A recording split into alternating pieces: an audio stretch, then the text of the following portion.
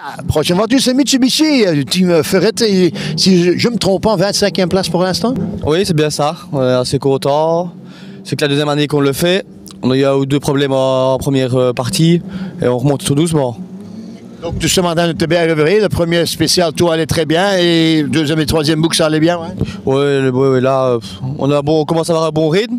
Dans la première boucle, la première spéciale, la troisième, on sort. Donc on perd un peu du temps. Et là, on remonte tout doucement. Donc euh, on est assez satisfait de nous. On est, Non, on est assez satisfait de nous pour le moment. Donc ça va. Merci beaucoup et à demain.